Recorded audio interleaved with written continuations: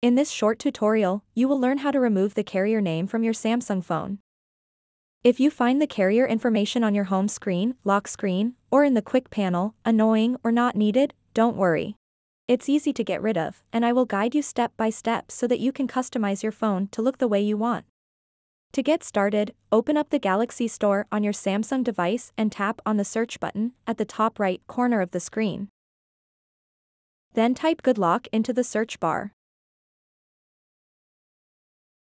Now you'll see an app with this exact name. Tap on it. Next, you need to download and install the Good Lock app on your Samsung device. After it is installed, open the app. What you want to do next is scroll down until you find an option called QuickStar. Once you've found it, tap on the download button next to it. It will take just a few seconds to complete the download and installation process.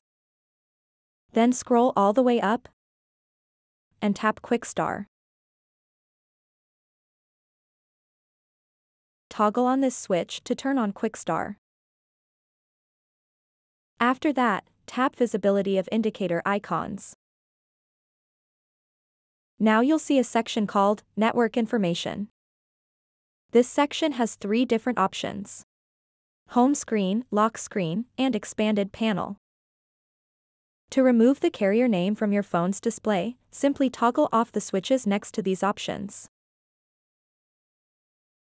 Once you do that, the carrier name will disappear from all three areas. So that wraps up this tutorial. If you have any questions about this whole process, please let me know in the comments section below.